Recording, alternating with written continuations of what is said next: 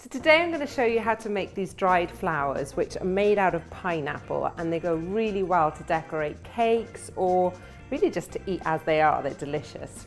Once you've cut both the ends off, now I'm just going to take the skin off around the edges. So today I'm going to use one of these scoopy things. I don't know what it's called, but it's used for taking off the stalk of strawberries and things like that. Um, if you don't have one of these, you can use a knife or a melon ball scoop.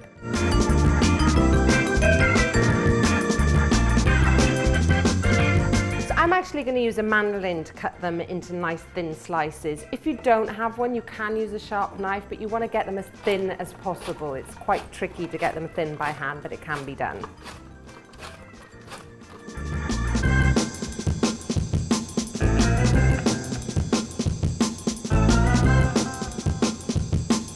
I'm going to pop these in the oven at 100 degrees Celsius for about 20 to 30 minutes. Then you're going to flip them for another 20 to 30 minutes and that's when we put them in the cupcake tray. This is the stage you want to pull them out of the oven. You can see they're starting to turn golden around the edges. And here you've just got to be a bit delicate and take them off the parchment paper and pop them in a cupcake tray.